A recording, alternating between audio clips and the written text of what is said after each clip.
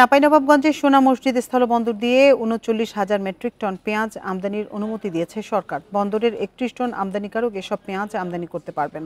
সকালে সোনা মসজিদ স্থলবন্দর উদ্ভিদ সংগধিরোধ কেন্দ্রের উপপরিচালক সমীর ঘোষ এসব তথ্য জানান। তিনি জানান, উনচল্লিশ হাজার মেট্রিক টন পেঁয়াজ রোজার আগেই আমদানি শুরু করতে পারবেন ব্যবসায়ীরা।